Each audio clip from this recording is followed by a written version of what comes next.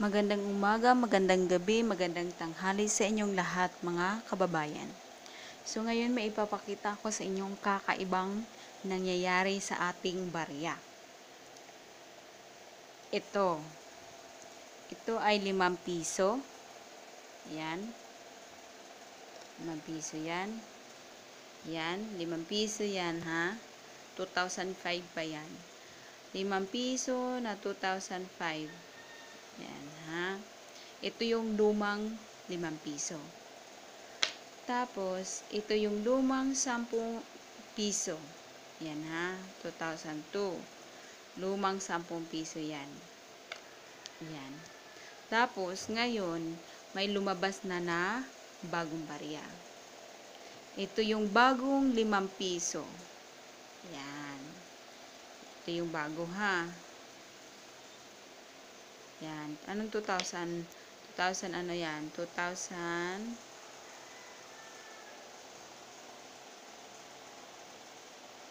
2,000 Bakit di makikita kung anong 2,000? Ito lang dito sa gilid. 2008. Ito sa gilid. 2008. Ito sa gilid niyan. Dito, dito banda.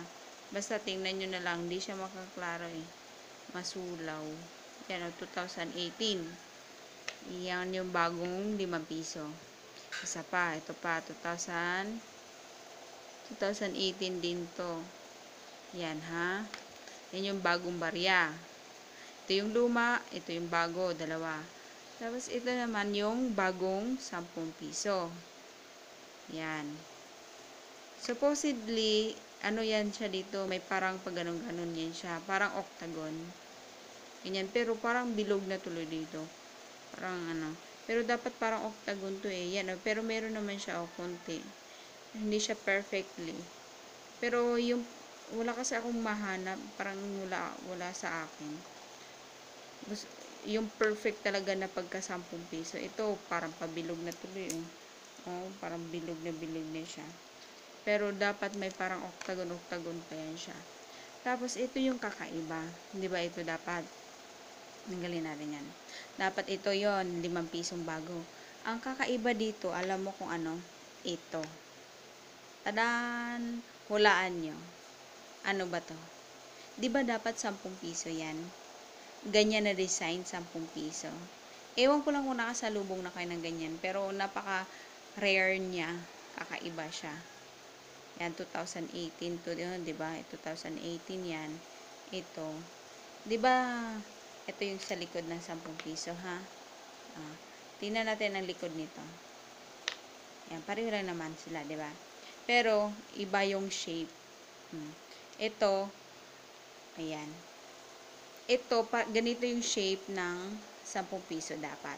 Ganito. Ganyan. Par, ganito dapat yung may parang paganon-ganon dito, oh. Yan.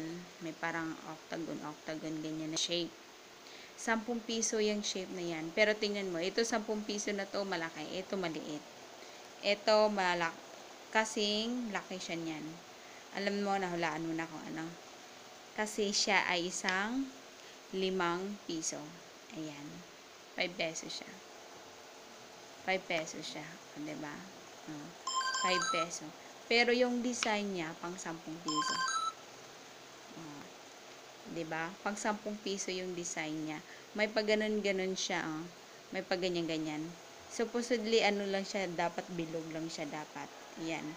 Pero ang design niya ngayon, pang 10 piso. Hmm, isa pa, meron pa oh. Yan, oh, 'di ba? Oh, dalawa 'yan. Oh. Rare. Rare na 5 piso kasi yung 5 piso na design niya is kinuha niya dito sa 10 piso na dapat pa ganun-ganon. Oh. Ibig sabihin, dalawang klase yung 5 piso na na-produce ng Pilipinas. Isang bilog at isang paganito. May paganyan-ganyan. Ah, diba? Ah, compare mo naman yan. Diba? Kakaiba. Kakaibang 5 piso. Ah, ah, diba? Saan ka makakatagpo niyan? Ano kaya, pang, ano kaya nangyari dito? Nagkamali siya lang ng shape? Kasi ang nilabas na ano is ito eh. Ang nilabas na shape is ganito. Pero ang ngayon, ito, meron din ganyan. Wala namang official nilabas na ganito, ba?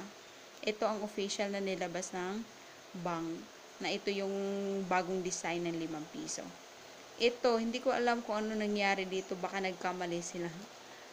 Or what. Or ganun talaga. Design talaga na may ganoon. Hindi ko alam eh.